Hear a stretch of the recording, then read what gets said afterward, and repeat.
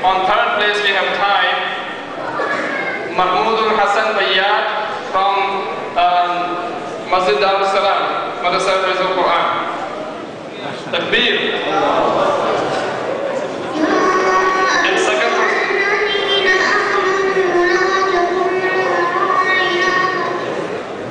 and the second person on that tie, Muhammad Abid Hassan, Madinatul Ulum Academy. Try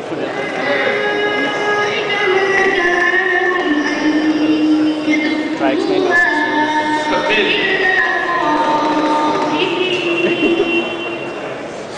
And the second place in that Try category, explain the six-year-old you guys shared. $250, Ubaidullah Ansari from Madinatul Ulum Academy.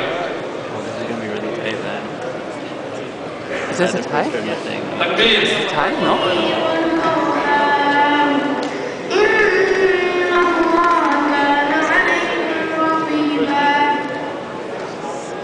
And the first place in that category, $400 cash, Sayyid Talha Iftikhar from Islamic Foundation of Mashallah. Toronto,